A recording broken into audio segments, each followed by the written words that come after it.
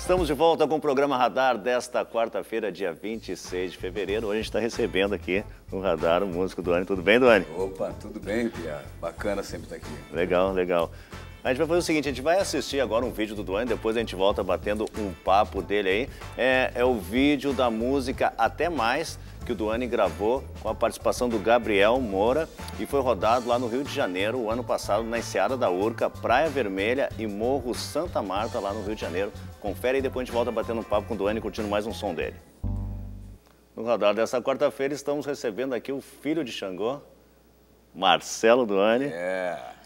Aí o disco saiu aí no segundo semestre do ano passado, né, Duane? Isso. A gente curtiu esse clipe aí que teve a participação do Gabriel Moura, o cara que é parceiro do seu Jorge, fundou Gabriel. Farofa Carioca, responsável Exato. por inúmeras trilhas de teatro, também de cinema, né? Como é que foi essa parceria com o Gabriel Moura?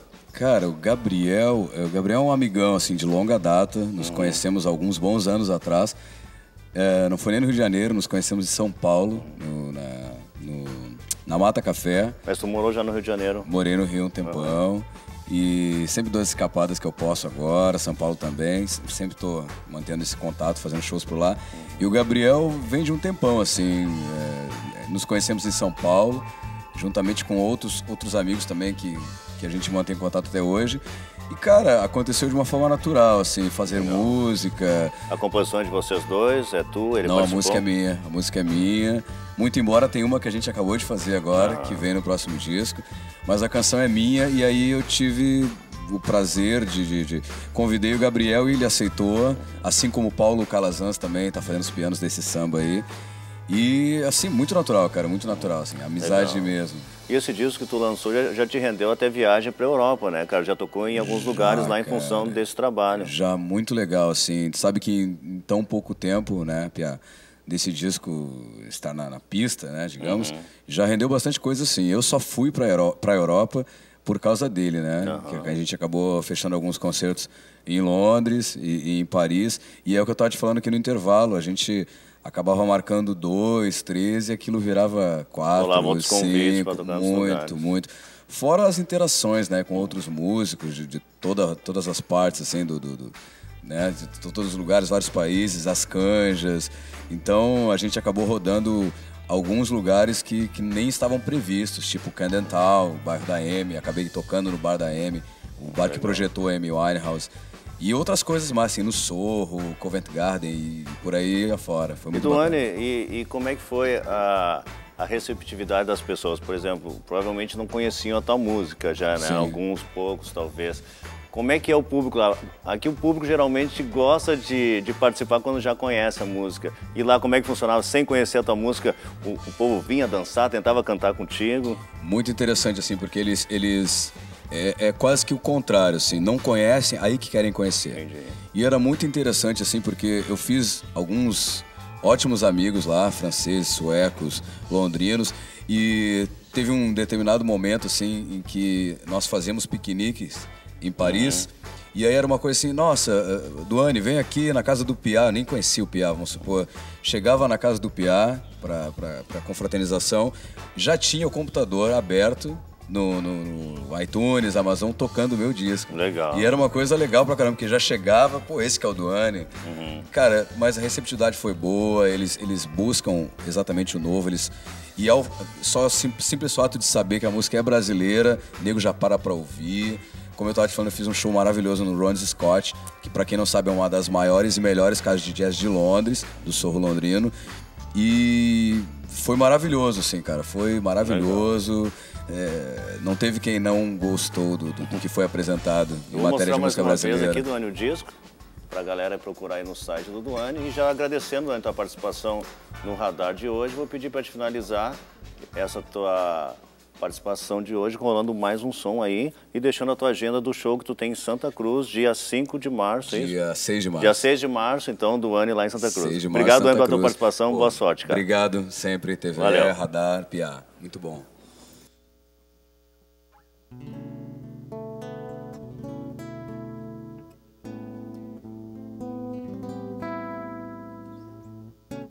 Me pego sozinho mais uma vez.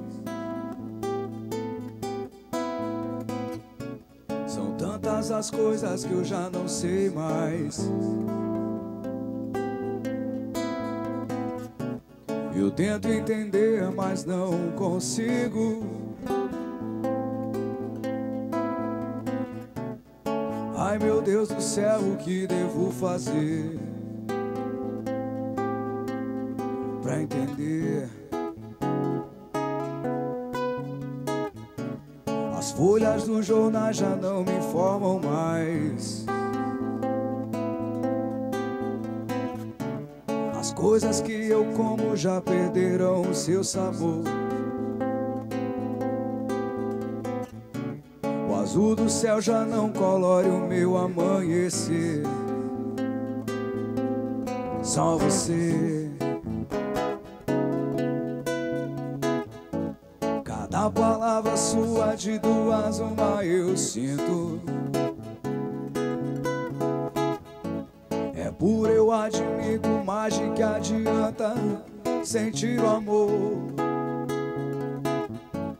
A tua indiferença faz de mim um homem sofrido.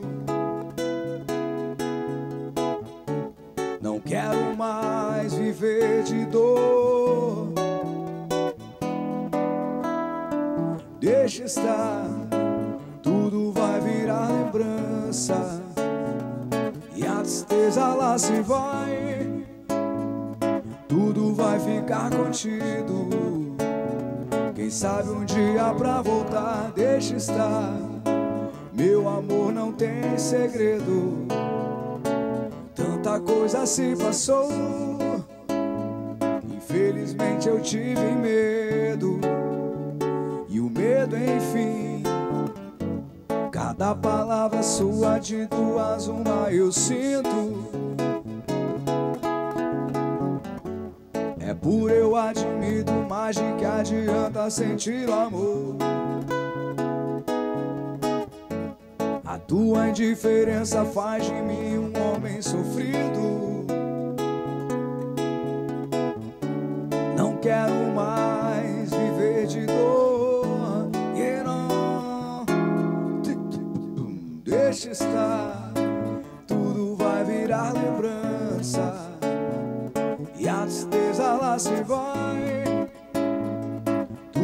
vai ficar contido. Quem sabe um dia pra voltar, deixa estar.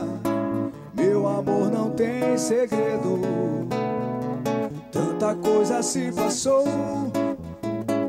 Infelizmente eu tive medo, e o medo assim.